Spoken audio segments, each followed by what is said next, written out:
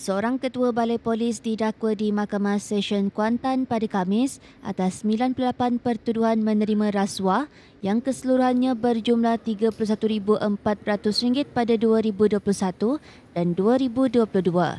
Anwar Yaakob, 54 tahun bagaimanapun mengaku tidak bersalah dan memohon dibicarakan selepas pertuduhan dibacakan empat jurubahasa yang mengambil tempoh masa lebih 40 minit di hadapan Hakim Dato' Ahmad Zamzani Muhammad Zain.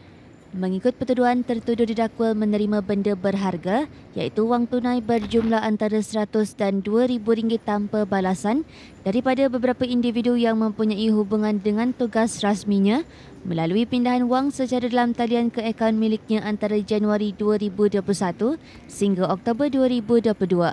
Tertuduh didakwa melakukan perbuatan itu sekitar Kuantan ketika bertugas di bahagian siasatan perundangan D5 Jabatan Siasatan Jenayah Ibu Pejabat Polis Kontingen Pahang dengan pangkat Sarjan dan Ketua Balai Polis Cerating sebagai Sarjan Menjar antara Januari 2021 sehingga Oktober 2022. Anwar yang berkhidmat selama 33 tahun dalam polis di Raja Malaysia PDRM didakwa mengikut Seksyen 165 Kanun Keseksaan dan jika sabit kesalahan tertuduh boleh dipenjara selama tempoh 2 tahun atau denda atau kedua-duanya.